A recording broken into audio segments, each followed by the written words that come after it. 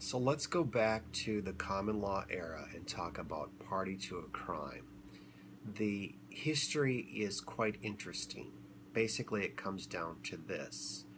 Uh, at this time in history, there were many crimes that were designated as felonies, and a felony meant that the penalty for committing the crime was death. It was pretty much black and white, and uh, so many people were getting the death penalty.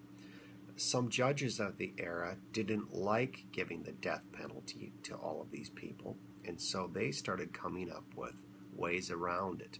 And what they devised is that if you were a party to a crime, you couldn't be prosecuted until after the principal was convicted.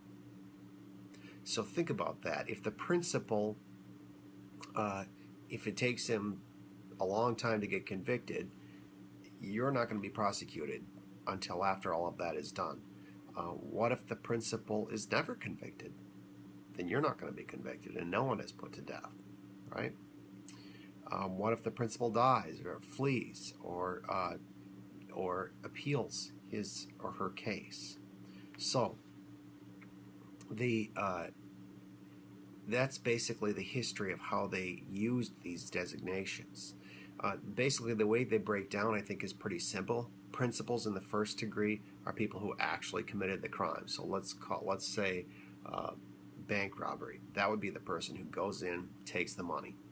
Okay. Principals in the second degree are present. They're either physically or constructively present, and constructively really means present too.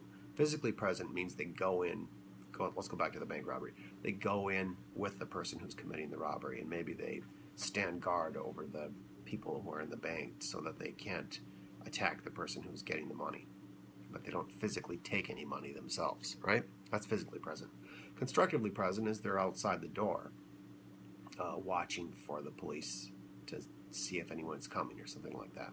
So they're not in the bank, but they're at hand. Okay? Those are principals in the second degree.